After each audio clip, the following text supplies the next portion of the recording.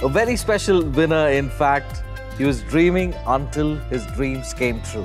Introducing you to Riji, one of our winners from the main draw. Tell me more about yourself. I am basically from the northern part of Kerala in Kannur. I basically manage a group of educational institutions, uh, engineering college. So I've been based in Kannur from the last 10 years. Wonderful. So, uh, you being in Kannur, in Kerala, in India, how did you know about Emirates Draw and what made you play with us? I basically heard about Emirates Draw from my friends and I found it very tempting to play. Uh, the main reason being the tickets are very cheap, but the returns are huge. So it made me play. So I've been playing regularly from the last uh, two, three months. You matched six out of seven balls. How did you do that? I have no idea. I just went with a random pick and uh, luck was on my side. I had 29, you guys had 36.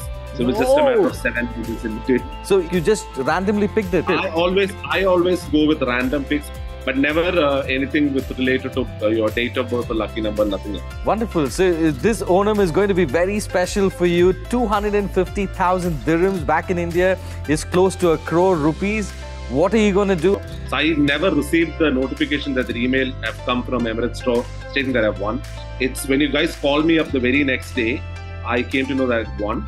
So absolutely, my mind is blank right now. Super. Looking forward to seeing you here, over here in Dubai to come and collect the 100 million dirhams as well from us. Absolutely. I hope for the same.